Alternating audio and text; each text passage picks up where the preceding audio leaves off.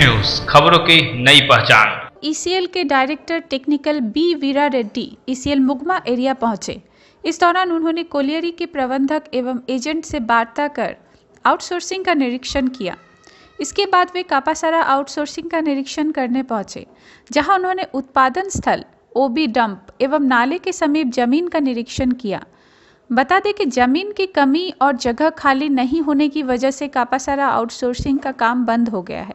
उसे कैसे निपटा जाए, इसी को लेकर निरीक्षण हुआ। हालाँकि इस दौरान डीटी से मिलने के लिए डीओ धारक खड़े होकर इंतज़ार करते रह गए।